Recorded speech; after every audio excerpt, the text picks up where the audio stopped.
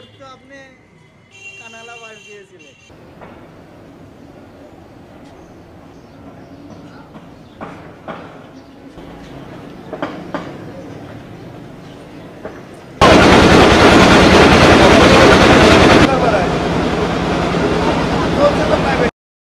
সরকার বর্তমানে coaching centre বন্ধের জন্য, বিশেষ করে নকল প্রতিরোধের জন্য এবং প্রশ্নপত্র যাতে ফাঁস না হয়, এর জন্য যে উদ্যোগ নিয়েছেন তা অনেকাংশে সফল হবে যদি কোচিং সেন্টারগুলো বন্ধ করা যায়। কিন্তু সমস্যাটা হলো, সব স্কুলে তো ঠিকমতো পড়াশোনা হয় না। টিচাররা ঠিকমতো লেখাপড়া করান না বা বাধ্য হয়ে গার্জিয়ানদের বিভিন্ন কোচিংয়ে দৌড়দৌড়ি করতে হয়। সকল ছাত্রছাত্রীকে এস এম এর মাধ্যমে এবং আমরা নোটিশের মাধ্যমে ওটা বন্ধ করে দিয়েছি? হ্যাঁ সরকার যদি স্থিতিশীল পরবর্তীতে যখন প্রজ্ঞাপনটা তুলে নেবেন, ঠিক তখন থেকে আমরা কার্যক্রম চালাবো।